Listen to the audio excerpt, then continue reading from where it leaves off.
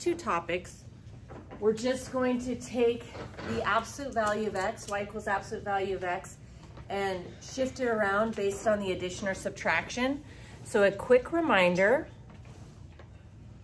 is that if you are inside of the grouping symbols, so inside those absolute values, you're moving right and left. So when you're inside, we've got a floor and we have a ceiling. We can't go up and down. We can only go side to side.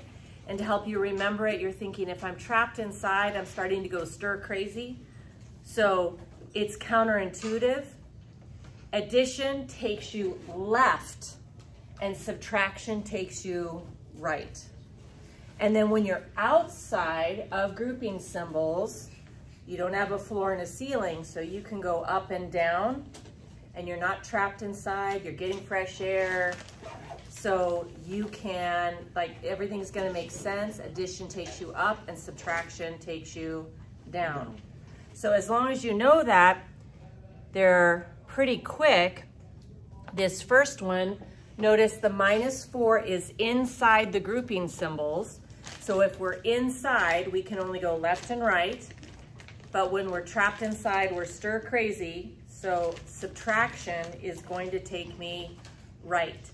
So I'm gonna grab this absolute value function and drag it right four.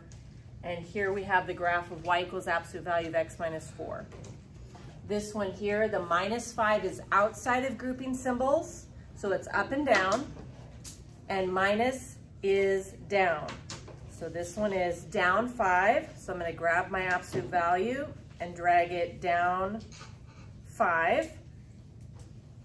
Okay, and then this last one, we have two things going on.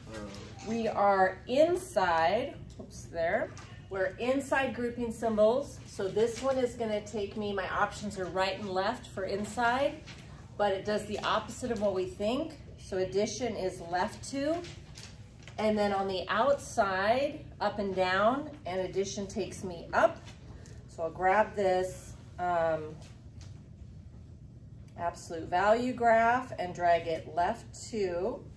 And then I'm gonna drag it up three, one, two, three.